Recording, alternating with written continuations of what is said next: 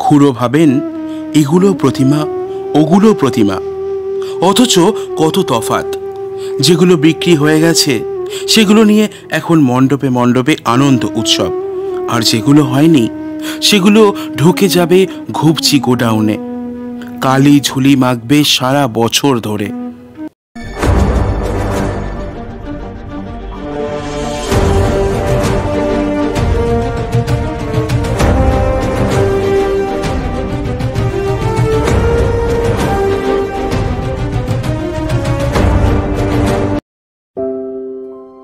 গল্প and co চ্যানেলে আপনাদেরকে স্বাগত। বিভিন্ন স্বাদের গল্প প্রবন্ধ শুনতে আমাদের চ্যানেলটিকে ফলো করুন এবং সাবস্ক্রাইব করে পাশে থাকুন। আজ আপনাদের জন্য সিদ্ধার্থ সিংহের লেখা তিনটি অনুগল্প। এই গল্পগুলি প্রথম প্রকাশিত হয়েছিল শারদীয়া তথ্য কেন্দ্র পত্রিকায় দু নয় সালে। শুরু হচ্ছে প্রথম অনুগল্প প্রতিমা। যাদের বায়না করা ছিল, তারা সকলেই প্রতিমা নিয়ে গেছে। একটু কম দামে পাওয়ার জন্য শেষ মুহূর্তে দরদাম কষে যারা কেনে, তাদেরও আসার সময় পেরিয়ে গেছে। নতুন করে আর কোনো দল হই হই করে ঢুকছে না। কে যেন এক এক করে সব সুইচ অফ করে দিয়েছে। পোটো খুঁড়ো বাইরের দিকে তাকিয়ে দেখলেন, আকাশে আলো ফুটে গেছে। আজ ষষ্ঠী। উনি ভেবেছিলেন বায়না না হলেও শেষ পর্যন্ত সবকটা প্রতিমাই বিকিয়ে যাবে। কিন্তু এবার যে গতবারের চেয়েও বেশি রয়ে গেল। উনি ফিরে ফিরে দোরগোড়ার দিকে তাকান, কেউ এলো কিনা। খুঁড়ো ভাবেন, এগুলো প্রতিমা, ওগুলো প্রতিমা। অথচ কত তফাত। যেগুলো বিক্রি হয়ে গেছে, সেগুলো নিয়ে এখন মণ্ডপে মণ্ডপে আনন্দ উৎসব। আর যেগুলো হয়নি সেগুলো ঢুকে যাবে ঘুপচি গোডাউনে। কালি ঝুলি মাখবে সারা বছর ধরে। তার একটা মাত্র মেয়ে। মা মারা যাওয়ার পর থেকে সেই সামলায় ঘরের খুঁটিনাটি সব। পুজোর এই কটা মাস দম ফেলার ফুরসত পান না তিনি। তাই ওই মেয়েই পুটলি বেঁধে খাবার পৌঁছে দিয়ে যায় দুবেলা। দেখতে দেখতে মেয়েটারও বয়স পেরিয়ে যাচ্ছে। ওর সব বন্ধুই এখন ঘর কন্যা করছে। ছেলে মেয়ে সামলাচ্ছে। আর তার মেয়ে? তিনি কি কম চেষ্টা করেছিলেন? কিন্তু পার করতে পারলেন কই? জানালা দিয়ে রোদ ঢুকে পড়েছে ঘরে। পাশের বারোয়ারি মণ্ডপের মাইকে শোনা যাচ্ছে বোধনের মন্ত্র। উনি একবার প্রতিমাগুলোর দিকে তাকান, একবার দরজার দিকে। তাহলে এগুলো সত্যিই কেউ নিল না? পোটো খুঁড়ো আবার দরজার দিকে তাকালেন, আর তখনই বুকটা ধরাক করে উঠল। উনি দেখলেন, আর একটা প্রতিমা কখন ঘুপচি গোডাউন থেকে বেরিয়ে এসেছে। তার দশটা নয়, দুটো হাত, আর তার এক হাতে একটা পুটলি। শুরু হচ্ছে সিদ্ধার্থ সিংহের লেখা, দ্বিতীয় অনুগল্প, সিঁদুর। শান্তুকে দেখে দৌড়ে গিয়ে চিলেকোঠায় খিল তুলেছিল রিমি। শান্ত তখন রং চং মেখে একেবারে ভূত। ছুটে গিয়েছিল ওর পিছু পিছু। মাসির বাড়িতে ওর বন্ধু বলতে মাস্তুতো বোন আর বোনের এই বন্ধু। তিনজনের বয়স পিঠোপিঠি।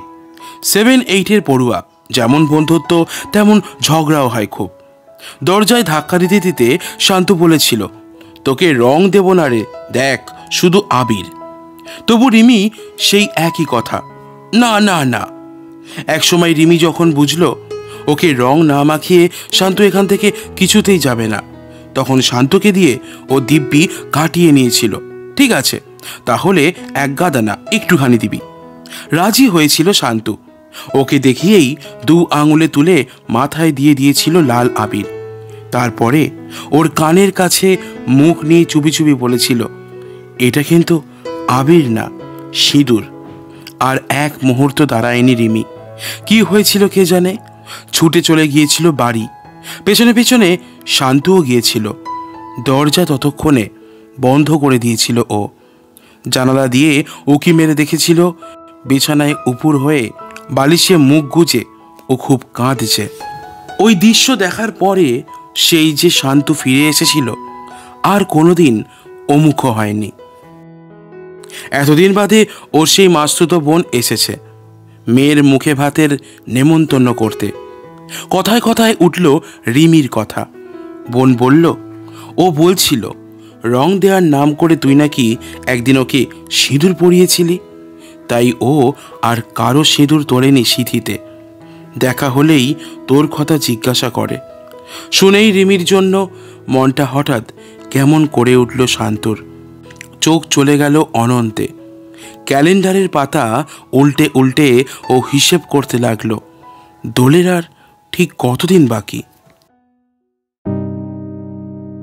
শুরু হচ্ছে তৃতীয় গল্প গরাদ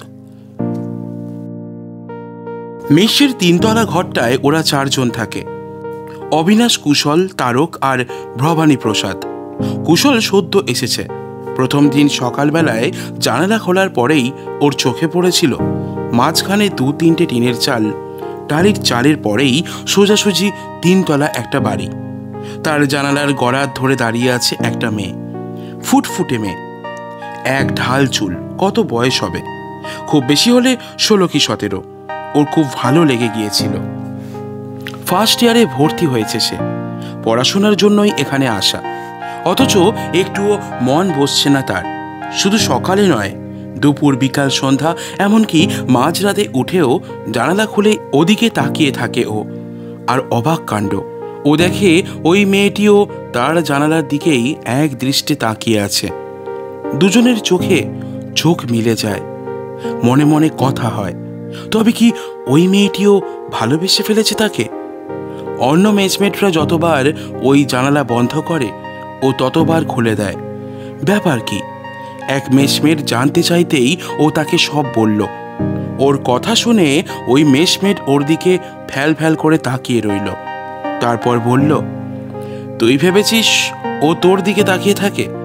ধুর বোকা, ও তো সারাদিন ওভাবেই দাঁড়িয়ে থাকে।